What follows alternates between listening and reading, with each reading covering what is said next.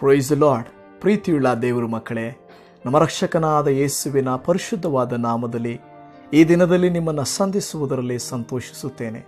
ಚೆನ್ನಾಗಿದ್ದೀರಾ ಕರ್ತನ ಕೃಪಾಶೀರ್ವಾದಗಳಿಂದ ನಾವೆಲ್ಲರೂ ದೇವರನ್ನ ನೆನೆಸುವುದು ಉಪಯುಕ್ತವಾಗಿದೆ. ಯಾಕೆಂದರೆ, ಕಳೆದ ಕಾಲಗಳಲ್ಲಿ, ಎರಡು ವರ್ಷಗಳಲ್ಲಿ ಕೊರೋನಾದಿಂದ ಬಾಧೆಪಟ್ಟವರು black fungus, white fungus, yellow fungus ಅಂತ ಹೇಳಿ ಅನೇಕ ವಿಧವಾದಂಥ ಸೋಂಕುಗಳ ಮಧ್ಯದಲ್ಲಿ ಈ ದಿನ ನಾವು ಸುರಕ್ಷಿತವಾಗಿದ್ದೇವೆ ಅಂದರೆ ಅದು ದೇವರ ಕೃಪೆಯೇ.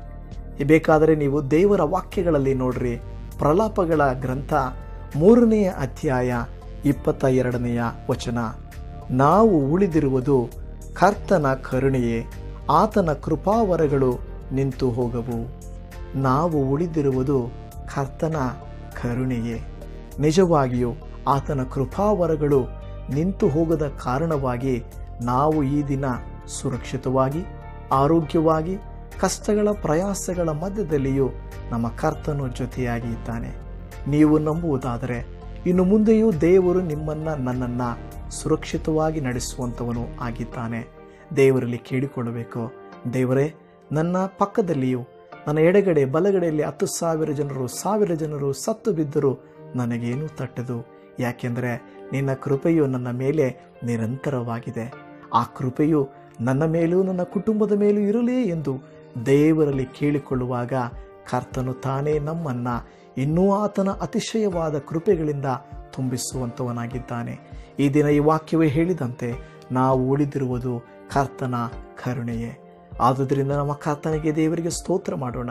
ದೇವರೇ, ನಿನ್ನ ಕೃಪೆಯಿಂದ ನಿನ್ನ ಕರುಣೆಯಿಂದ ನನ್ನ ಕೈ ಹಿಡಿದು ಮುಂದಕ್ಕೆ ನಡೆಸಪ್ಪ ಎಂದು ನಾವು ಭಕ್ತಿಯಿಂದ ಪ್ರಾರ್ಥನೆ ಮಾಡಿಕೊಳ್ಳೋಣ. ಕರುಣೆಯ ಕರ್ತನೆ, ದೇವರೇ, ಈ ದಿನಕ್ಕಾಗಿ, ಈ ಸಮಯಕ್ಕಾಗಿ ನಿನಗೆ ಸ್ತೋತ್ರ.